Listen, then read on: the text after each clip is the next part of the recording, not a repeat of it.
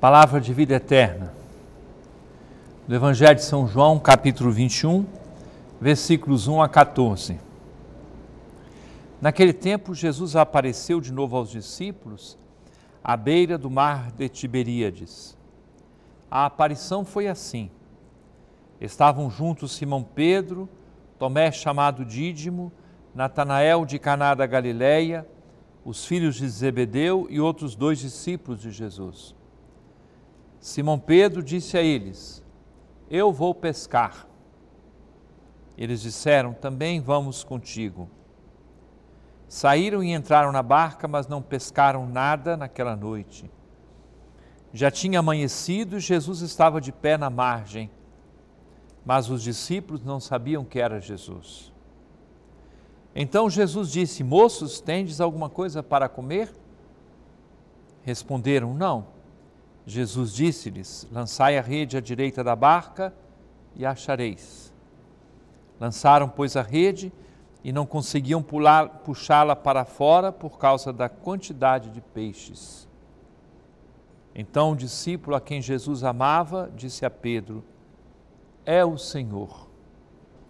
Simão Pedro, ouvindo dizer que era o Senhor, vestiu sua roupa, pois estava nu, e atirou-se no mar. Os outros discípulos vieram com a barca, arrastando a rede com os peixes. Na verdade, não estavam longe da terra, mas somente a cerca de cem metros. Logo que pisaram a terra, viram brasas acesas com peixe em cima e pão. Jesus disse-lhes: Trazei algum dos peixes que apanhastes. Então Simão Pedro subiu ao barco e arrastou a rede para a terra estava cheia de 153 grandes peixes. E apesar de tantos peixes, a rede não se rompeu. Jesus disse-lhes: Vinde comer. Nenhum dos discípulos se atrevia a perguntar quem era ele, pois sabiam que era o Senhor. Jesus aproximou-se, tomou o pão e distribuiu-o por eles. Fez a mesma coisa com o peixe. Esta foi a terceira vez que Jesus ressuscitado dos mortos apareceu aos discípulos. O evangelista São João conta três aparições de Jesus ressuscitado. Esta é a terceira, a que ouvimos agora.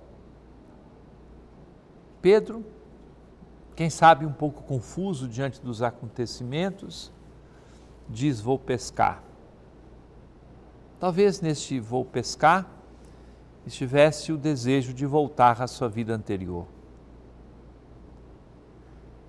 E a barca de Pedro, sinal da barca da igreja,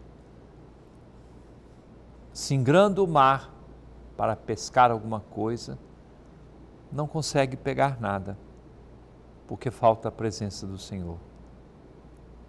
De madrugada, gratuitamente e livremente o Senhor se manifesta. Pensam que talvez fosse uma pessoa ali à beira do mar, quem sabe um pescador. Depois é João que diz: É o Senhor.